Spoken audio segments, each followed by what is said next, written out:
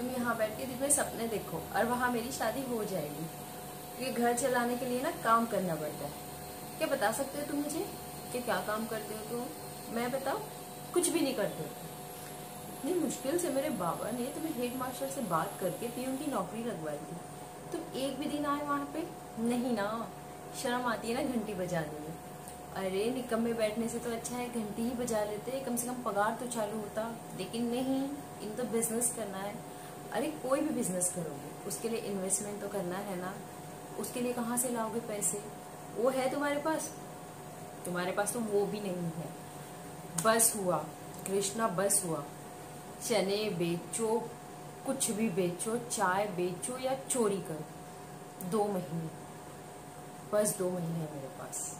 अगर इन दो महीनों में तुमने कुछ नहीं किया ना तो जहाँ मेरे बाबा कहेंगे, मुझे शादी करनी है। और तुम प्लीज़ मुझे मत दोष दो।